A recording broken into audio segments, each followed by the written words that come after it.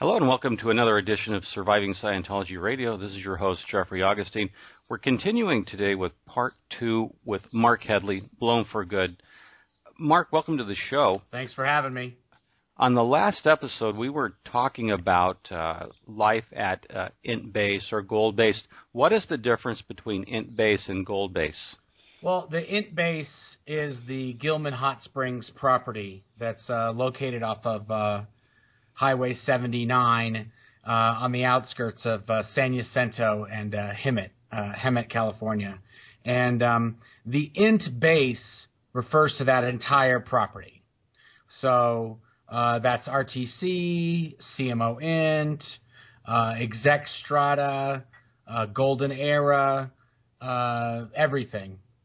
So golden era productions is just one of the many units that's there. So, but if you say gold base or int base, it's it's the same thing. Okay, so it's the same property. Yeah. For, the, the other thing is that in the it, it, d- depending on who you're talking to, so if you're talking to somebody uh, in town, in Hemet or in San Jacinto, like if you're at the gas station filling up a vehicle and somebody says, "Oh, hey, you're out at that uh, at the Scientology compound," if you're in CMO International, which is the Commodore Messengers Organization International, um, yes. you pretend that you work at Golden Era. So for the local for the local community, there's no Scientology management occurring at that property. That property is where uh, promotional films and videos and lectures are produced for Scientology internationally. So, so the the local publics believe you're just sort of a harmless uh, video unit. Like it's a production studio. Okay, that's a good cover story. I mean, that's yeah, and that's why there's barbed wire on all the fences, and because we have, you know, trillions of dollars worth of studio equipment that has to be protected at uh, at any cost, and uh, and that's why we have lights that light up the entire mountain in case somebody escapes, and you know, those are those are sort of the reasons why all that's happening is because there's all this expensive equipment out there. Yeah, and that was very funny when Tommy Davis, former church spokesman, said that you know you had millions of dollars of equipment to protect. My first thought was if you're going to first break into the base through all the formidable security defenses, what are you going to? How are you going to steal a big mixing board? Cameras. I mean, studio equipment's hard to pawn. It's easy to track. Yeah, there's there's a that that shore story, and that's actually what that that's what it's referred to uh, internal to the property as as this is the shore story. This is the uh, this is the ver- the PR version of what we're what you're supposed to say if you run into somebody in town. Um, and yeah, that that shore story uh, it doesn't run real deep. It it, it sort of kind of peters out if you uh, if you you know try to shoot holes in it. No, that's well said. And, and for again, our, for our listeners, a shore story is a term from the U.S. Navy, meaning if you're uh, in the military, when you go into town with civilians, you tell them something just as acceptable, paddleable. You know, we're here, uh, you know, exploring the coastline to map it. Uh, now, uh, L. Ron Hubbard had what was called an acceptable lie, which is really no different than what politicians do in some sense. You're masking your true purpose you're not letting people know that you're at an int base there, and your ultimate goal is to take over the world. Yeah, and there's a, there's a huge, huge uh, focus on internal security, external security. Uh, you know, loose lips, sink ships. Uh, you know, everything. Don't say anything about what we're doing.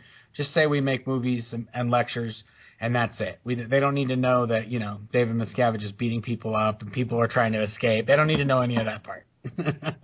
well, no, no, nor should they, because it's as uh, David Miscavige's attorney Monique Yingling, when she was on the air with CNN's Anderson Cooper, and he was talking to in the famous uh, or infamous Sea Org Wives clip. Oh yeah, uh, I know every inch of their body. Blah blah blah. and uh, uh, yes, and Monique Yingling, uh, Miscavige's attorney, Anderson Cooper says, "Why didn't you report this, you know, to the uh, to the police?" And because this is a assault and battery, a felony multiple times, and uh, Miss Yingling said we chose to handle it internally, which to me was really chilling. And this brings up the point I wanted to get to, Mark. In our last uh, interview, you mentioned that you were living in a Scientology utopia, and this this is very much worth exploring because it's believed among Scientologists that if everything were Scientology, ethics and tech and admin in, it would be a very highly efficient, functioning unit, and you would be maximum production, maximum intelligence, maximum results, everything perfect. And yet, it's a dystopia. Yeah, I mean, whatever politics or you know water cooler gossip or you know infighting, whatever that you're exposed to at the you know the regular old uh, corporation down the street or your office building that you go to every day, uh, take that and a hundred exit and that's what it's like at the Scientology headquarters. It's it's constant, constant, constant fighting, uh, fist fights, physical violence, uh, yelling, screaming. I mean, at the I mean, people are losing their voices screaming at their juniors.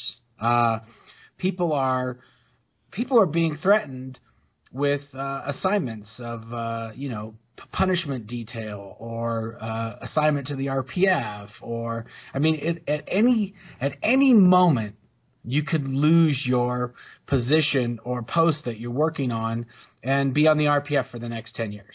That that could happen tonight after dinner. And that's certainly uh, living under that kind of pressure. Corporate life is very demanding and challenging, but the, at the end of the day, you go home, you get a pretty good paycheck, and I got to tell you, I made pretty good money in corporate life. Uh, some years, you know, uh, some years you wouldn't make as much, but you still make a lot of money. Company car, health benefits. So the pressure in corporate life is to perform. The worst that could happen is you would, you would lose your job. You could get, you know, they would cut you loose. You get fired or you know told, hey, look, it's not working out. Why don't you resign? So even at the worst in corporate life, you have legal rights, and uh, it's astonishing well, you well Mark, you've this, also. I just got to say this before we move on to something else. Is that you also have this added layer of if you don't toe the line, that you're also not you're also not only risking your future eternity because if you get expelled or if you get punished by this group, then they can basically block your way to this eternity that, that, that lies ahead that you're all working towards. But then you can also block all of mankind's eternity through your failures to perform. So it's this added added set of layers of just insanity that mentally and psychologically they're u- they're using that leverage to to to squeak that extra you know blood out of the stone. So you can look at the power though they can block your eternity, which what does eternity even mean in uh, Scientology? What is it going to be a better next lifetime? Will it, uh, what is eternity? The ultimate goal of eternity? Well, in the Sea Org, you sign a billion year contract. So there's this concept that you're essentially going to do this forever. It's you're never going to do anything else. So you don't really want to get tangled up in a mess with those folks that you've basically said, "Oh, I'm going to be doing this for the next billion years." Um, obviously, it's a symbolic thing, but at the same time, um, there's this concept that, well, once you're done here, you're going to come back, and we're going to continue doing this, and uh, you know, it's sort of it's sort of this. Uh, I don't know how to explain it, but the only way I could explain it now, looking back, is it's sort of a uh, suspended disbelief because I just saw this thing in Tampa since the release of the Golden Age of Tech Phase 2, which is you know, about, let's say, seven or eight months ago. They've made eight clears. Okay, if they were just going to clear Tampa, it would take them like another, you know, twenty six thousand years or something like that. if they well, if they were just going to do one a month for the rest of the time, it'd take them a net, net, another twenty six thousand years. It's some insane amount like that. So it's sort of like, um, yeah, you're going to be coming back a lot more than a billion years in order to get this job done. Because that's just Tampa. That's just that one city. We're talking about well, yeah. billions and billions of peoples, and that's also providing that no more people show up for the next 26,000 years.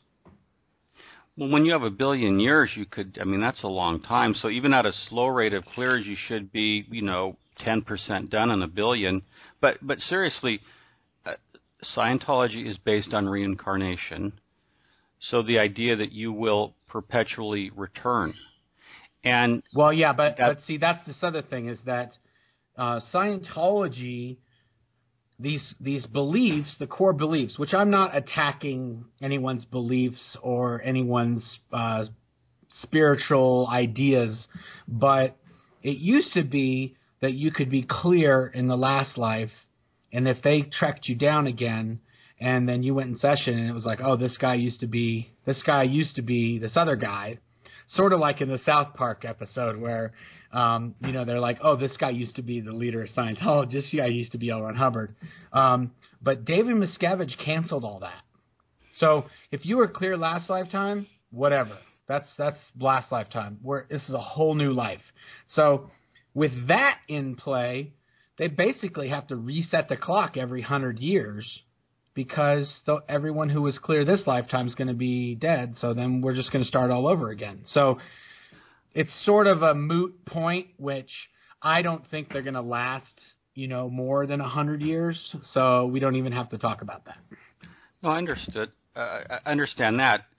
But, but having said that, you told me a story once. I'd like you to tell our listeners. L. Ron Hubbard uh, has a home on the Int base called Bonnie View. Yeah. And David Miscavige uh, was pressuring the crew, you included, to get this done. Get this house done for L. Ron Hubbard. Why? Why was he pressuring you? Well, there's a there's many schools of thought on this, but when I first got to the property in 1990, um, we got a tour of the entire property, and uh, as part of that tour, you tour L. Ron Hubbard's personal home, and it was called BV or Bonnie View or Beautiful View, and it was uh, in 1990. I mean, the house I have now is better than that house. Um, wow. So it wasn't it wasn't all that. It was a pretty decent sized house, but um, you know, it was built you know 20, 30, 40 years ago. It wasn't anything special and it had his rain his cars in the garage. Yeah, I think he had a Toyota Land Cruiser in there and he had a uh, I want to say he had a Lincoln. Um, he had, uh, you know, they would change all of the bedding and the curtains and all the uh, anything fabricy. They would change it every season to a new set of everything for the whole house. Sure. And um, it had uh, his clothes got laid out on his bed every day, like as if he was going to wear his clothes that day in case he comes back. His clothes are ready to go, um, the, and the, all this sort of thing. And this house was had cleaners and everything had all the laundry was being done on a regular basis and you name it. And there's a whole unit called the household unit, which is basically uh, Commodore's messengers that are assigned to keep up the house and take care of all the stuff and the vehicles and the whole thing, the, the grounds. And um, throughout the years, there was this idea, and, and L. Ron Hubbard actually wrote a, a communication, a dispatch to Ray Mithoff, stating the exact date that he was coming back. Really? Yes. So, and this date reportedly, I never read the dispatch, but it was basically 21 years after he left. So I guess that it's basically, I think it's like 2007's. Does that make sense? Is that the right math? Yeah, yeah. He uh, passed away in ni- uh, 1986. Okay, yeah. So, so yeah, there you go. Yeah, 20. Yeah, 2007. Yeah, okay, yeah, good. 2007. So basically, in the mid 90s, it was like, okay, we got to get this new house built and the idea is that they're going to demolish the old house and then they're going to build a mansion. This is not it's not this doesn't this new house it doesn't even compare the guest houses on the new house were bigger than the old house. That's how much of a magnitude of of larger this new uh, BV was going to be. And over the next decade, it was just millions and millions and millions of dollars were pumped into this house. And and it was eventually completed and no expense was spared. It was just over the top crazy. And um, it has its own theater. It has its own swimming uh, pool building. It has tennis courts. It has guest houses and bungalows and a, a full 35 millimeter theater and you know you name it. But the the the thing I took away after I left and I left in 2005, and it was I think it was finished in the early 2000s. It was totally 100% uh, completed. But um, the thing that I realized is that you have a lot of people there at the international headquarters that actually worked with L. Ron Hubbard. Correct like the Ray Mithoffs and the Guillaume Lesevres and Marc Yager and uh, these guys they knew him or they worked with him or they worked they worked for him in some capacity they traded dispatches or they were in key management positions when he sort of said oh the church is not being run by me anymore um, even though he ran it you know pretty much all the way up until his death no sure um, but they really do believe these core guys. I really and, and even people that were there that don't work, didn't work with L. Ron Hubbard or hadn't even met him. A lot of these people really do think he's coming back. So when you build, when you have Miscavige spending all this money building this house, he's sort of keeping this idea in place that L. Ron Hubbard's actually going to return. And I think a lot of these guys are like are basically putting up with Miscavige's bullshit so that when LRH does come back, they can tell on him and they can sort of you know go to daddy and tell him all the bad things little Davy did while while you were gone and um it's really amusing to see how it it all plays out and at the same time you know Dave positively 100% knows that LRH is never coming back. But he plays this game with these guys like he is. So it sort of keeps them all in check. And that's why a lot of people say, well, why don't these guys leave? And why don't these guys blow the whistle? And why don't these guys do this? I really do think they've had so much Kool Aid shoved down their throats that they 100% believe that that dude's coming back. Yeah, and spiritual belief, you know, your sense of reality, of identity, uh, when I was a young man, I believed that Jesus was coming back imminently. And it, it, just to diverge for a minute, in the uh, 1970s, there was a very famous book called The Late Great Planet Earth by an author called Hal Lindsey. And using dates in the Bible, things Jesus said, uh, he basically implied, inferred, without actually saying it, that the rapture the event in which Jesus would come back and take all the Christians off the planet, and then the planet would be roasted by the Antichrist and nuclear war, etc. Um, had to happen. You know, the end of the world had to happen by 1988. Subtract seven years for the rapture, 81, and so people were were were actually skipping going to college, skipping doing things, not caring because they were going to be gone in the rapture by 81, and they seriously they seriously lived this, Mark. Yeah. And I actually believe Jesus would come back before 1981. Now, the reason I went to college, thankfully, uh, which you know prepared me for my future, was Billy Graham said, even if Jesus is coming back, you should still go to college if you're a young person because you'll get trained a much better education. You'll be more effective for Christ if you go to college. so I went to col- I went to college because of what Billy Graham said. I looked up to him, and I, and I think he's just a, a model religious leader, one of the best of, of, of the 20th century. And um, so because of what Reverend Graham said, but I know the power of belief. Yeah. So th- of, that's of having, so that is really, I think, the main reason why you don't have more people defecting uh, defecting and uh, you know whistleblowing is between that that the that extra set of layers that that eternity and the spiritual aspect and then you have this belief that L. Ron Hubbard is going to come back he's going to kick Dave's butt. He's Dave's going to get in trouble, and then everybody's going to go on uh, how they were doing when L. Ron Hubbard was, you know, around, which what which wasn't that much better from the stories that I've heard. no, and but but but again, back to the end of the world or uh, Jesus coming back. Uh, and I'm not comparing L. Ron Hubbard with Jesus for our listeners. I'm not doing that at all. I'm just looking at elements. One of the things that, that religion looks for is what's called the reversal of the order of life. When that defining event happens, when Jesus comes back or whomever, things will change. There's a reversal of order of life, and then there's justice.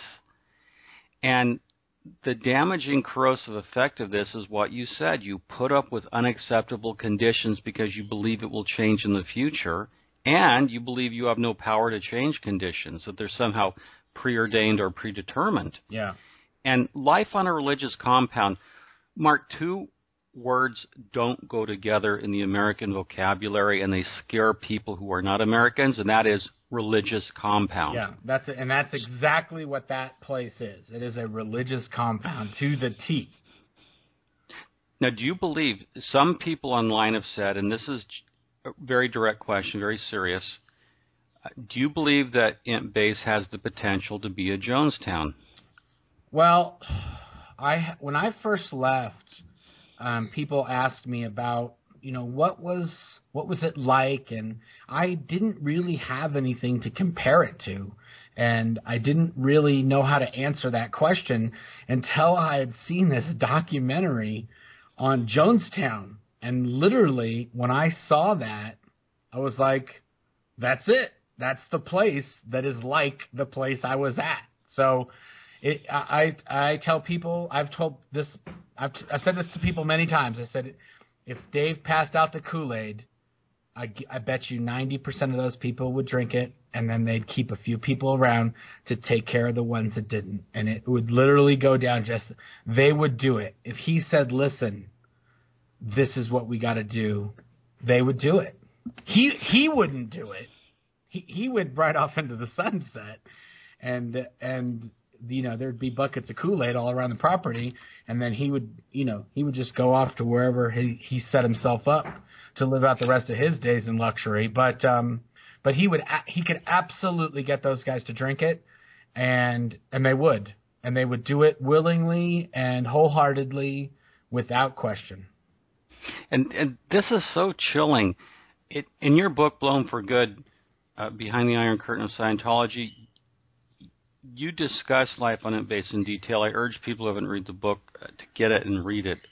One event that you you wrote in um, I want to say 2007 on Xenu.net, and this is when you were still on on the living on the base, I believe. You were writing things online, or was that after you left the base? No, no, I had left the property. It was very okay. shortly after I had left. Okay, well, I remember when you you literally came out of nowhere onto the internet is blown for good. Nobody knew who you were. The thing that blew me away, Mark, that shocked the world was your story of musical chairs. Yeah. It's well known, but for people who are new, could you please tell the story briefly because it is it's shocking and it goes to the religious compound mentality. Well, basically, the the musical chairs incident that occurred was sort of a precur- uh, precursor to what's now known as the hole. So there was a double wide trailer that is where CMO International is located. That's Commodore's Messenger Org International. And those are basically the people that are supposed to be managing and running and directing Scientology internationally. This is where all of the top management uh, comes from. And, and the reason I say supposed to is because essentially David Miscavige just micromanages and dictates everything that happens and these people are are sort of they don't really have anything to do because he's just telling uh, he's just telling them this is what you're going to do. So they don't have sure. they don't have to think or do anything. He's just going to dictate, and it's going to come.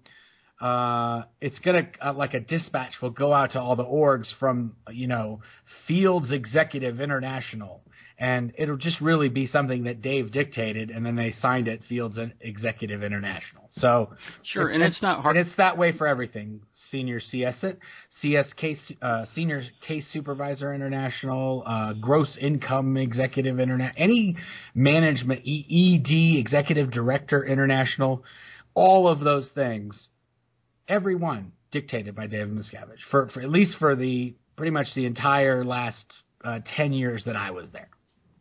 Yeah, and it's understood that, that the Church of Scientology is a dictatorship run by David Miscavige, and the whole thing revolves around him. Uh, so, with that in mind, with his absolute iron grip on the Church of Scientology, it's intensified at Int Base, where at that time he was living. Yeah, and so, and I don't. Yeah, and so so to to continue with the musical chairs thing. So basically, it had gotten to a point where he had demanded and dictated that so many different things happen, a lot of those things uh, canceling out other things. So if you did A, well then B wouldn't be able to be done. If you did B, then you'd have to t- throw everything away you did on A, and then when you come around to C, it's totally 100% uh, going to make it hard to do D. It's just it was, but it was like that. There was just hundreds and hundreds. I think at one point um, somebody had counted it up, and there was just thousands and thousands of orders that he had issued that were non-complied to, and he had spoken many times of of disbanding or or just offloading, getting rid of everybody that was at the int headquarters, the the int base, and so he basically said we're going to play a game. He asked the people, you know, do you know what musical chairs is? And a lot of people in Scientology, there's uh, L. Hubbard has a policy where he says that musical chairs is when you keep switching people off their posts and you assign them to new posts, and by the time they get to know that post, you take them off that post and then you put them on a new post. So they never actually really get good at anything because you're always moving everybody around and this is a personnel uh, psychosis, which is referred to as musical chairs. So a lot of people answered, "Oh yeah, that's when you take people off post." He's like, "No, no, no. What's the real?" Like, there's a real thing called musical chairs, not a Scientology personnel policy, but an actual thing. And finally, somebody knew what it was and said, "Oh, you play this game and play music, and if you don't have a chair, you have, you get kicked out of the game." So he says, okay, great. We're going to play that game right now with all of you.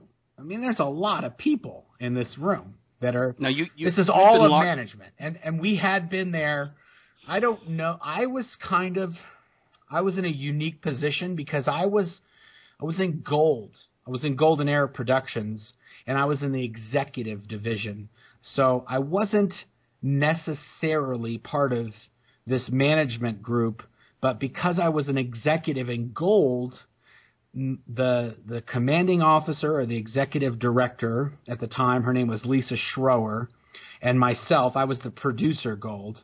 Um, her and I would often go to these meetings that took place in management, and and sometimes we would kind of just get roped into the insanity that was happening because we were there at the meeting because usually if they were planning something or some sort of management meeting was occurring that there would need to be some product produced for the for an event and then we would have to be there from gold because we're the ones that are ultimately going to do all the work and produce the product.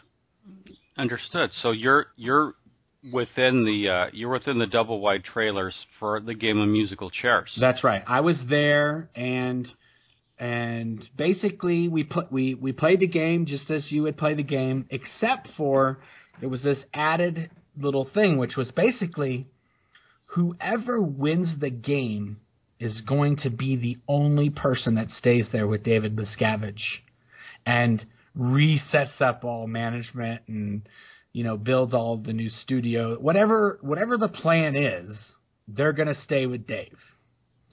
And everyone else is going to be offloaded.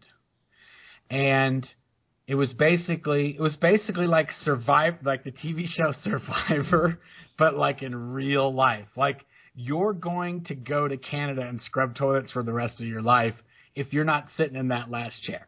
or you know you're going to clean ashtrays at Celebrity Center International down in Hollywood. That's going to be your job as the ashtray cigarette butt picker upper.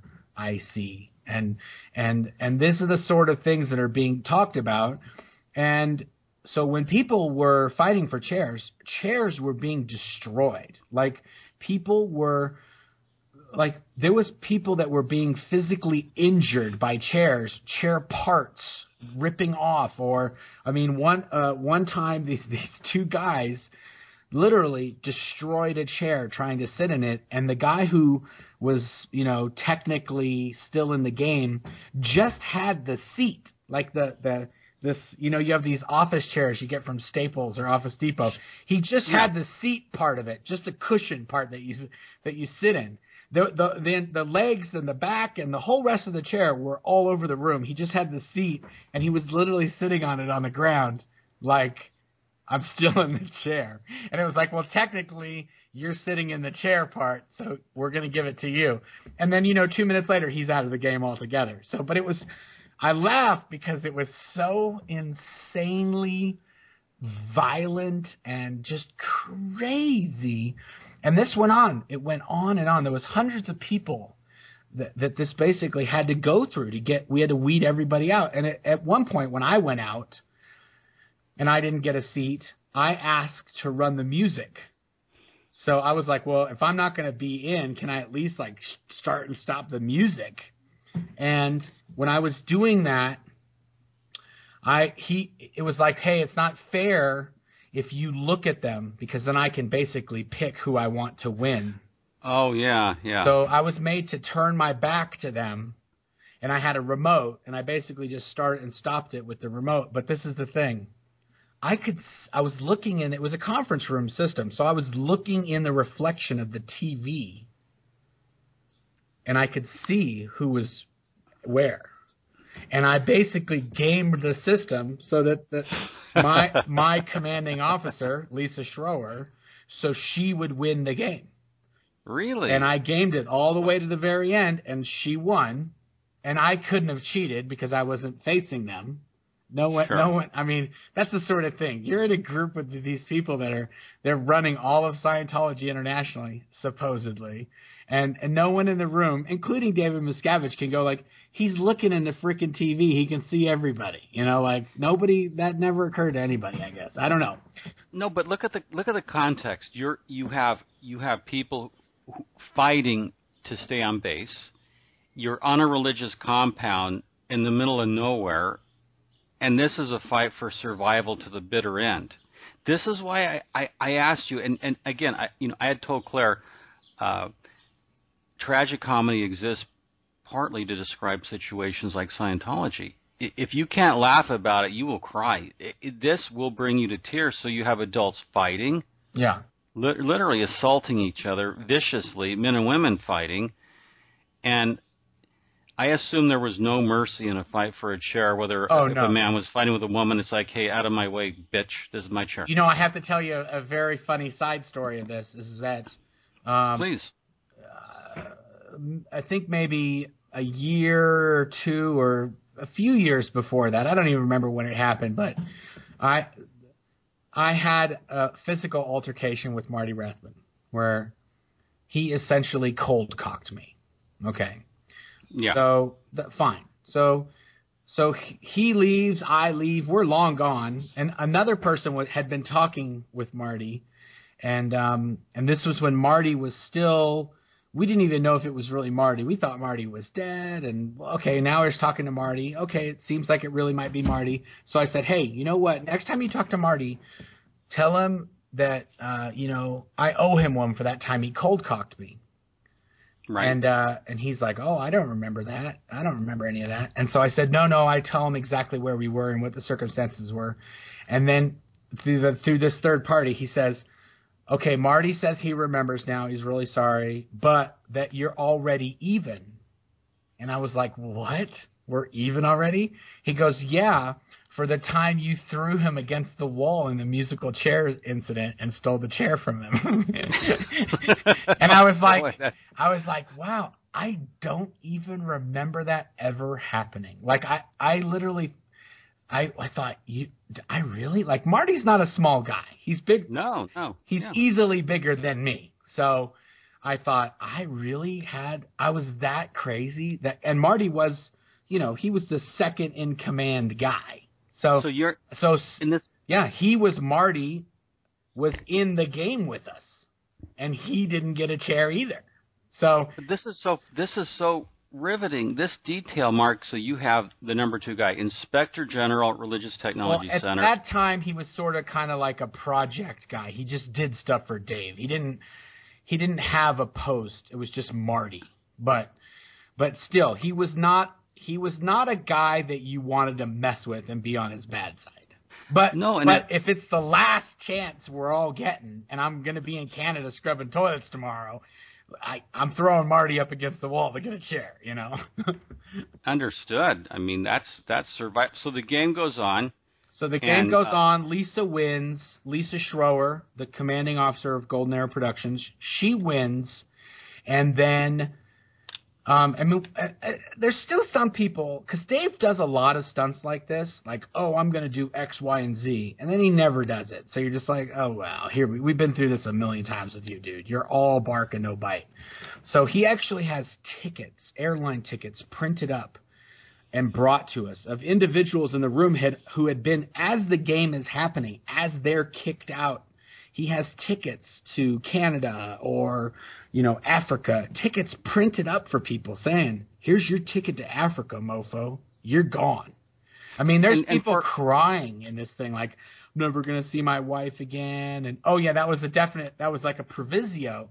Is if your wife is in the room, like if you're a husband and wife couple and you're both in the room, you're not going to the same place. So this is not going to be like some vacation from the international headquarters. If you're going to Canada, good. Your wife's going to Africa. You know, it was in the and these were v- very detailed specifics like this were all covered on this is how it's going to go. And then so Lisa wins, and then he basically says, "Okay, uh, Lisa, you're you're staying here with me," and he says, and now this is the crazy part because he says, "Is there anybody else in this room that thinks that they should be spared?" And I raised my hand like a rocket, poof, instantly. And I said, "No, man, I'm doing this. I've saved hundreds of thousands of dollars on budgets, and I'm doing this, and I'm doing that, and I'm doing. I just, I was pulling, I was pulling stuff out of nowhere. Okay, I did all this stuff. He says, "Okay, fine, you go with Lisa," and then we left. And then he, as we were walking out, he says, "Okay." And then everybody started raising their hands, and he was like, "No, no, no, no. When I asked, no one raised their hands except for Headley, and that's it. That deal's off. Him and Lisa, that's it. The rest of you, you're being offloaded." Okay, so Now had had Claire lost her chair? no, Claire was in this unique little group of people that she wasn't part of a mess, but she wasn't really totally uh, cool in RTC. She was still in RTC at this point, right before um, I left and she left. She was kicked out of RTC for not divorcing me but um, she was still in RTC when the musical chairs incident happened, and I don't even think she was in the meeting at all. She was up in RTC doing her thing, and she wasn't even there. So um, I think she might have popped in a few times during the course, but she didn't stay. And that was another thing. If if there was a meeting happening with Dave, and you weren't supposed to be in it, you stayed far, far away because you could just be walking by the conference room and he could see you and go, "Hey, get in here!" And the next thing you know, you're in an eight-hour meeting with David Miscavige, which is not a fun place to be. No, it, it would be it would be agony by proximal contact. Yes. You'd want to uh, avoid the area. And you know it too. When there, we would be having a meeting in in um, on the south side of the property. The property is split into two sides that are divided by the highway. So there's north side and south side. The musical chairs incident happened on the north side, which is in uh, CMO International. But we used to have meetings down on the south side in Golden Era Productions conference room. It was in an area called the Lower Lodges, and you could see this huge, huge walkway that went from virtually one side of the property all the way to the other. You could see it from the windows. This is probably about 100, maybe 150, 200 yards of walkways. And when we would be having meetings in there with Dave, I tell you, man, nobody went that route because they knew just by the way they were walking they could get called in, or if they were smoking a cigarette, or if they were laughing with somebody as they were walking, it would literally be like, "Hey, you see those two clowns out there laughing their heads off? Get them in here." And then it would literally be like, you know, the end of the day, they're scrubbing toilets somewhere just because they were laughing. They were, you know, telling each other something funny as they were walking by the conference room. So it was, it was, it was that kind of environment. But so anyway, so he does the whole thing. Everyone's getting offloaded except for Lisa and I.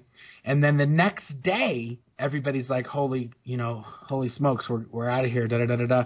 And then somebody comes down and says, "Oh, he says go back to doing what you were doing. It's going to cost way too much to send you guys everywhere, and I'm not wasting a penny of uh, Scientology money on sending you guys to all these places." That was it. So it was basically like you're like, "What about the tickets you had printed? What about all the excruciating detail on what each of us were going to do and what continent and all?" It was just like, no, it was all 100% BS. The entire thing was just.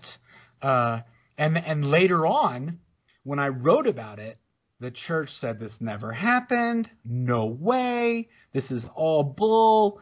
Okay, then somebody else started talking about it. Never happened. This is not true. This is just a rumor. And then finally, they admitted that it actually took place. And they said, I think it was Tommy Davis. It was either Tommy Davis or Karen, uh, Karin Pouw, who said uh, he was trying to teach them a lesson. And but I and I was like, wow, really? He was trying to teach us a lesson. Okay, sure, yeah. but, but at the time, and I'm looking at it on my screen here, Mark, you posted musical chairs on 28 September 2007. That's right. That's exactly And- right. And it was actually, it might, you know, this is really funny. I think it was in a response to you. Y- It was because I was asking you. I was posting as Jay Swift. That's, That's right. my screen That's name. exactly right. And This is on Chuck Beatty's thread. That's right. And you were saying all these things, and I was like, listen, I'm not trying to offend anybody here, but uh, you know, I'm going to just tell you the specifics. Like I was basically like, this is what's going down, and I was sort of like trying to detail out, like, yeah, there's crazy stuff happening. It's not exactly what you're saying, but you're pretty close, and here's here's what's really going down. Sure, because I'm I'm hearing things from you know no one at your level I had talked to, okay, and I talked to former CR, but no one at your level. And my position at that time, I was a corporate executive. I read this, I, I got to tell you, it is like it was so shocking because it comes across to me as mental torture, Yeah, mental cruelty, viciousness, and the story of musical chairs did a couple things. Mark, it it first it went viral on the internet. yeah, I mean, it it it, got picked up. It went viral because people are going, what? I mean, this is like the true face of David Miscavige of Int Base. So it was shocking. I had some journalists call me, and uh, they wanted to meet you. And suddenly, because you're posting, doesn't uh, the Office of Special Affairs really crank up the pressure on you? Well, I think even at that time, even when I was writing um, as Blown for Good, I would constantly mention, uh, you know, that there's uh, OSA guys outside my house right now, or you know, I, I I knew that it was, you know, I knew they'd figure it out, and and oddly enough, I talked to Mike Rinder after he had left and he at the time was you know doing a lot of the David Miscavige would say you better find out blah blah blah. And then he would call OSA and say okay who's blown for good? blah blah blah. Get get on it. And and between OSA and Rinder they had essentially figured out it's Mark Headley that's who it is. We could tell by like they have this database of everything that anyone's ever written in Scientology is scanned and input into this database and then, so when somebody writes something on the internet, they just cross check it against the database. And I think there's like a few things that I always misspell. I have like this tick where, like friends and uh, there's just certain way I talk or write. I always have these little uh, errors in my writing, and so they just took the posts and input them into the database and, it was, and spit it out and said, "Oh, it's Mark Headley," you know. Um, so they told Dave that, and he said, "No way! You have no idea. You have no idea what you're talking about. It's there's no way it could be Mark Headley. It's impossible that it's Mark Headley." And that was sort of by design because of the thing I was posting. But the other thing is that I knew that he would go crazy because I essentially, you'll see in the book, sort of every time I'm about to eat eat the dust in the book, Dave Miscavige sort of makes it so I don't. Because he needs your talents, your services. But every time it looks like, okay, yeah, I'm, I'm that's it. Uh, I'm going to the RPF. Nope. Poof! Right at the last second, Dave goes, "Why don't you have him do this, or why don't you have him do that, or why don't we make him do this?" And every time, it's sort of him, and between him and Shelley, they sort of molded my trajectory. So in the end, it's almost like you're the dude that made BFG. Like if it's Mark Headley, then it's your problem because you're the one that made this guy. Like everything that he is and how he did this, he got help from you. And so when it when I finally came out, I think I went to Germany or something, and I just said, "Oh, hey, by the way, I'm also I'm doing this thing in Germany. I used to work at the Int Base. Oh, and by the way, I'm blown for good." Um, when that happened, it was basically like, okay, take him out because uh, there's this is there's no way uh, you know this guy can keep doing this. So at that point, I mean, it was it was crazy, and that's sort of what my next book is all about. Is everything that happened like the first book, Blown for Good, is crazy. There's some crazy stuff in there uh, in terms of how people are being treated and that this could be happening in modern day America. Okay, but what they did after we left blows that away. It makes it look like lollipops and fairy tales. It's like you've got to be kidding me. No, it, it's your book, Blown for Good, is a powerful book. I mean, it, it's a revelation into the inner workings, and uh, and I remember at the time they were very vicious to you and Claire, and n- not to you know give away your book, but one particularly inexcusable thing they did in my mind, which really firmed up my resolve to expose this killing machine. They tried to take your children away from you. Yeah, and that was that sort of. Oh man, well, that sort of at that point, and I think that might have still been in 2007, maybe 2008. I don't remember exactly when it took place right off the bat, but I was posting. Um, Claire didn't really even know there was BFG. If she knew about BFG, she certainly didn't know that it was me. And and there was a lot of speculation on who it was, and we took part in that speculation with people like, oh, it could be this person, oh, it could be that person.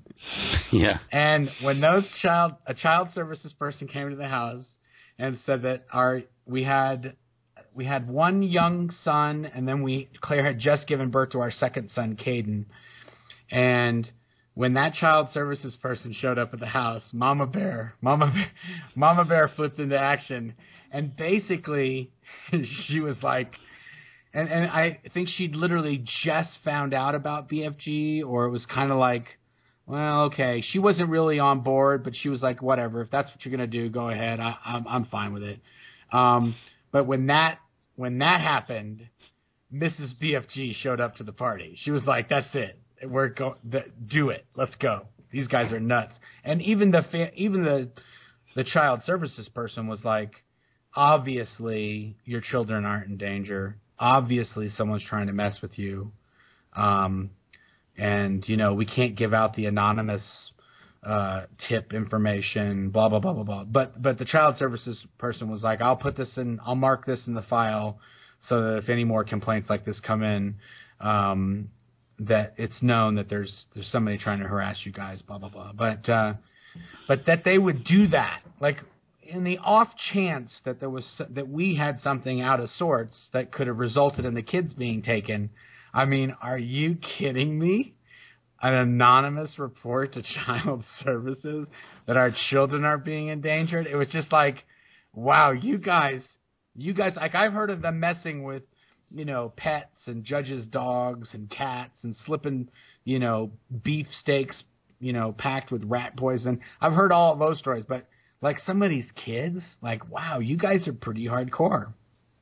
Yeah, they are. They are. In fact, Mark, this a couple points based on what you're saying. First of all, if when somebody comes out of the church, the org, staff, public, they should stay anonymous for a while. There's power in anonymity, and there is safety. Yeah, I second. Well, I think that there's a. I've done a lot of a lot of study on this, and it's actually a huge part of the book is which is what is this decompression that that occurs after you leave? And and and and because it used to take people 10 years to come out and speak out and now you got people doing it in 10 days.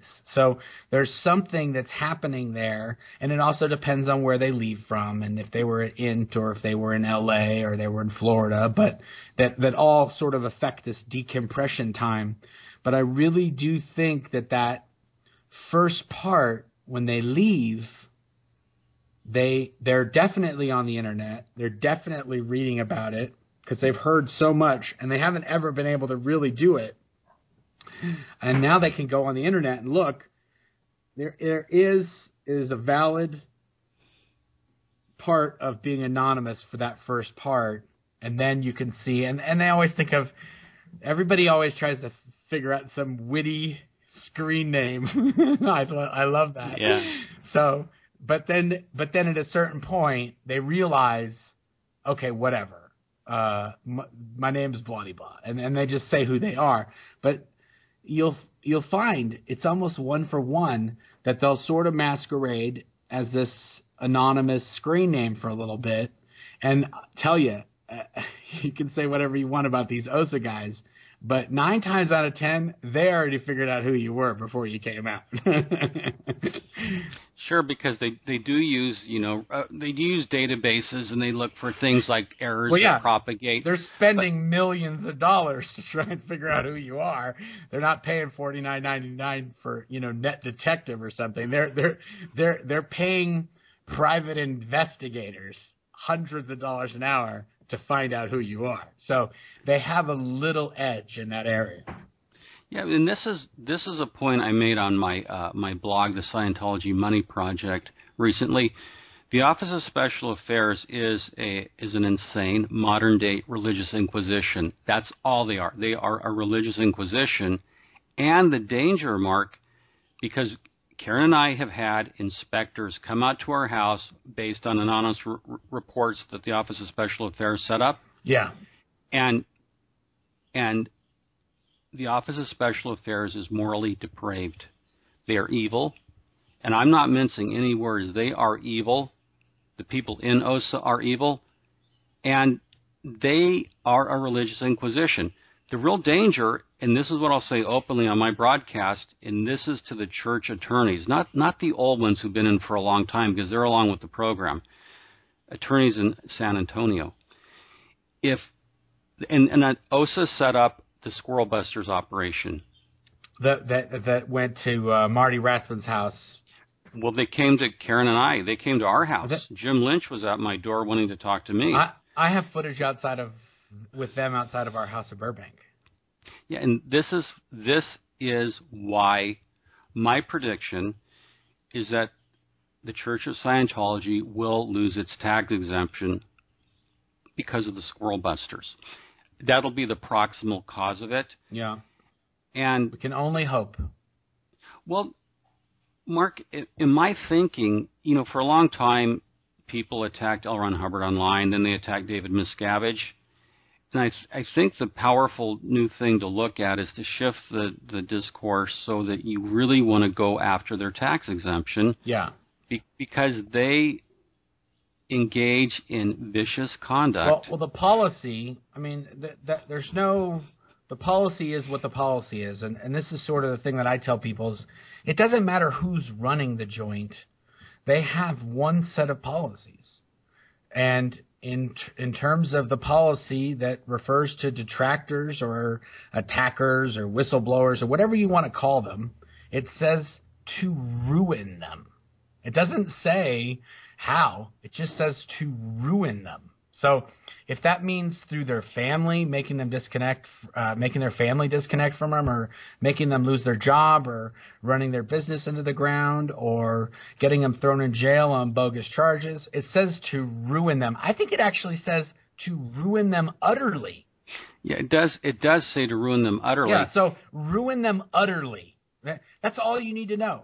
If you're not against, if you're not with the program in Scientology and you choose to leave, and you choose to speak out, their policy that, that L. Ron Hubbard wrote is to ruin you utterly. That's it. That's all you need to know. exactly. And the good news here is your power, if you speak out, is the internet. Yeah. Your power is to write letters to your congressman. There was no internet. Senators. There was no internet when L. Ron Hubbard wrote that policy. no, and in fact, he he. One thing Hubbard did is he counted on the economy of violence. That is, if he could put one head on a pike very publicly, noisily, it would have a chilling effect on everyone else who spoke out. So, yes, Hubbard didn't know about the internet, and that changed the game. And I, I think you personify the power of the internet to speak out. And but having said that, you had to go through you and Claire had to go through some rough times fighting the church. And my call has always been for the church to stop the insanity, stop the violence. Mark, I'll, end on this as something for uh, our listeners to think about. Jesus had his own disconnection doctrine. And he said, if you don't hate your mother and father, if you don't hate your brother and sister and love me, you're not worthy of me. And this is kind of one of those little insane things in the Bible. Jesus actually said you had to detest your family and love only him. And what occurred over time is people just simply do not practice that part of the New Testament. And there's some other parts of the Bible that are really, you know, insane. For example, if your children disobey, you can stone them to death. That's Old Testament, right? And you Scientologists should know you simply don't have to do these things. You have a choice. You're not robots. Well, how? Yeah, if if but, it was a if it was run that way, but they don't have a choice. No, and that's the whole point. Is it's become uh, a slavish adherence to things that are self-destructive of the church. And this is what I've always said, Mark. The Church of Scientology is inherently self-destructive. Yeah. Well, I think the fact that they they sort of are it's set up so that they have to adhere to these, you know, 1950s through 1970s policies. Um, they're pigeonholed into that. That's it. It's all they can do. So they have to ruin people utterly, and they have to, you know, wash windows with newspaper and ammonia, and you know they have to.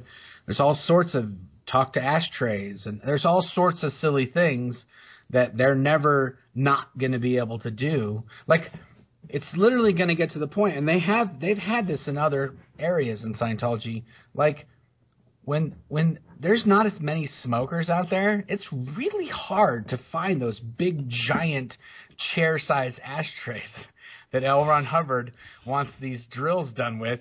So it's literally a thing where they're buying up all these giant ashtrays. So they have them for all these ideal orgs that have to have these for their course rooms. But it's like it's like that kind of thing. Like, really, how long are you guys going to be buying ashtrays for? Because L. Ron Hubbard said that's how you do this.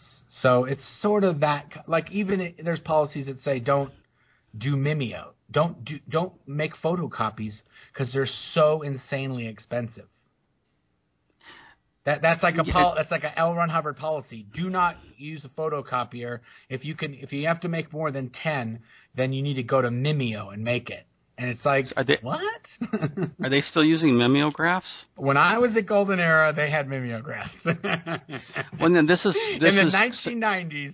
We were making plates, and there was a Mimeo press, and it was actually a guy who was the Mimeo in charge, and that was his job. And whenever there was a RPF assignment, uh, assignment or there was anything that had to go to the entire base, he was shooting a plate. He had this big giant plate shoot this like big camera that he would shoot the plates with and you know the whole thing because L. Ron Hubbard said that photocopies were prohibited if there was if you were going to do over ten. So you got to have a mimeopress. So I mean, like this, we're talking about 1990s. Like, are you kidding me right now? That's that's in, that's Scientology in a nutshell. They're they're the mimeoing shit in 1995. oh, I can believe it. I mean, uh, it, it, it's very uh, retro progressive. we still had someone... telexes. When I left in 2005, they were still sending telexes. How do you even get parts for a telex these well, days? Well, it's all computerized now, but there's still it's still uh, they still used all the traditional telex code and you know the way it had to be formatted. It was very, very, very technical. You, if you if you were on these telex uh, lines, these people who send and receive telex, then you really had to know how to send one of these things. You couldn't just say, "Hey, Bill, what's up? I need to, I need you to send me those parts." It was like, "Oh nine seven two fifty two seventeen, uh, re parts needed, uh, Bill." Uh, I need the I need the parts. Uh, these are the parts that I requested. And it's very a very formal procedure to send or receive a telex, but they were still sending and receiving telexes in 2005. It, that shows why they're stuck in a time warp. they still had monochrome monitors at the property in 2005 with LED oh. with LED screen protectors. I'm telling you, these people they have they they're sort of time capsule-ish. They've they've dropped into a time capsule and they popped out, but they they're I don't know. It's it's something going on. Mark, anyone who's listening who's still in the Church of Scientology at any level, what would you say to them? Uh, I would tell them, you know, it's okay to question.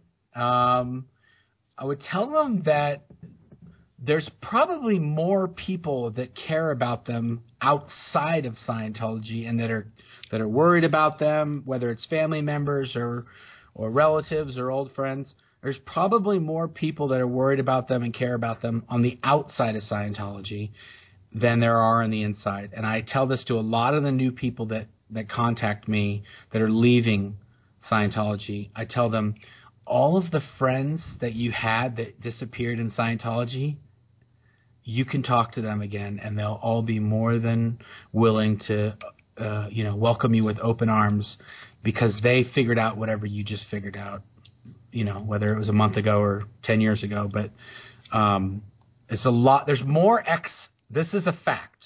There are more ex Scientologists than there are Scientologists. As long as you know that, then it's easy to pick a side. Very well said, and we look forward to having you on the show again. Mark, always enjoy having you on the show for Surviving Scientology Radio. This is Jeffrey Augustine, and as always, we'll be in very good touch.